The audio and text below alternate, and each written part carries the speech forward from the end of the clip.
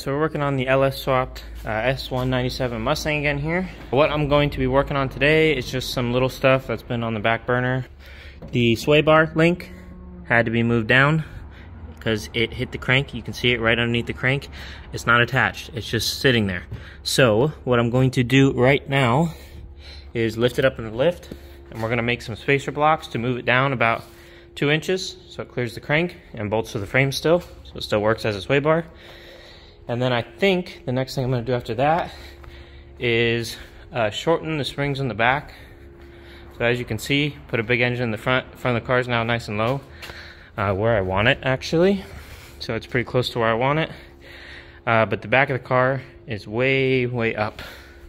So you can see the gap here on the fender on the back. And then the front has a lot smaller gap. So we're gonna lift it up, shorten the springs, because I don't wanna buy new springs. Uh, and if I mess them up, I got another set of springs anyways. So uh, we'll get going on that, lift it up, and short, shorten the springs, and attach the sway bar.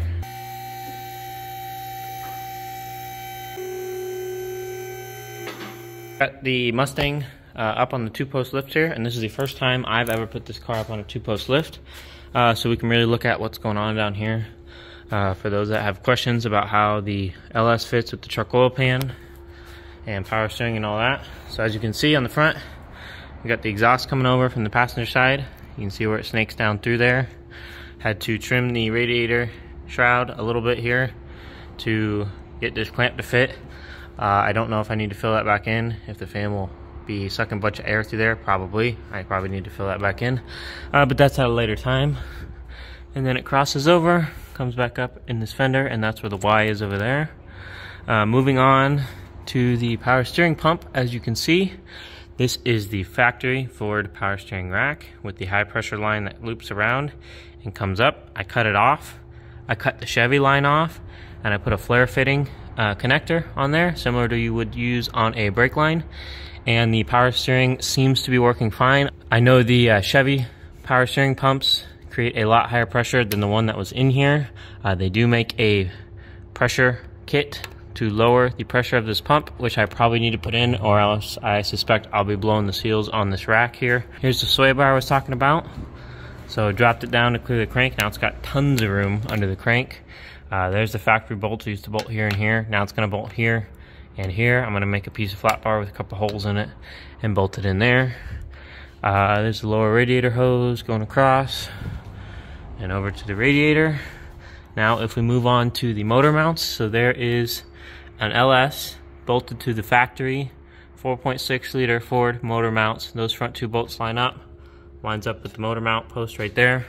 The back two do not line up. As you can see, they're close but not quite. If you wanted to go through the extra time to cut those, move them back and weld them back on, you could do that, no problem. Not sure if I'm gonna do that or not yet. I probably will. There's the other side with the factory Ford motor mount. If you get those swap plates they sell on eBay, you can see that bolt bolts there. The front two bolt straight into the block. And that's how that one works. So that one's good the way it sits. Also sits just fine on the factory mount there. This has a truck oil pan on it. As you can see, clears all the subframe, no problem. Even clears this little brace that Ford puts behind the subframe, no problem. The only problem is, as you can see, it does clear the steering rack. On this side, you can see the steering rack has that little bump that comes up. It's not touching the oil pan, but it is very close.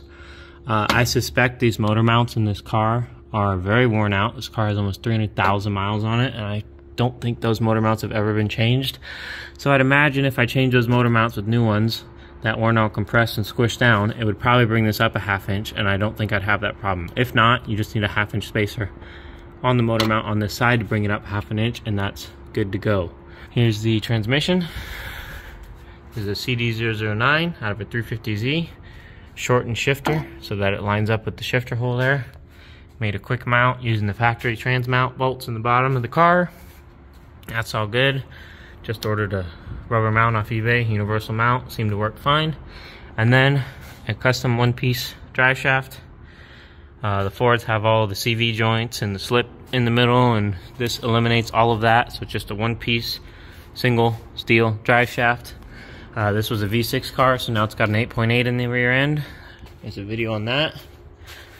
And that's pretty much the whole car. Uh, minus the electrical and some small stuff. There's the clutch line, as you can see, just put a braided clutch line in.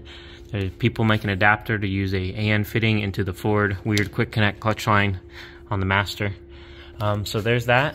So what I'm gonna do right now, make these mounts and lower the back by shortening the spring. We got some quarter inch plate here. So there's our two brackets. So I'm gonna cut those out and then we'll go stick them on the car.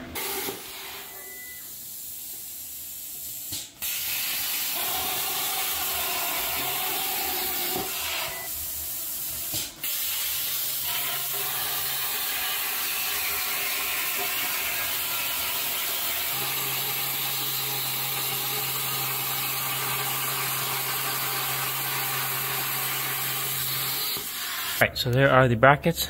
Do a quick coat of paint on them. As you can see, that's how they work. Drop the sway bar down on both sides. And that's that. So drop the rear end down a little bit. Pull both springs out.